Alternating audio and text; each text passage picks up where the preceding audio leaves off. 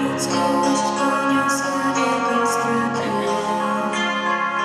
Ziemię opuścił wielki on Choć wielki był każdego bratem Teraz zajmuje niebieski tron. To on odmienił świat zaśniony Poruszył serca niezłumienie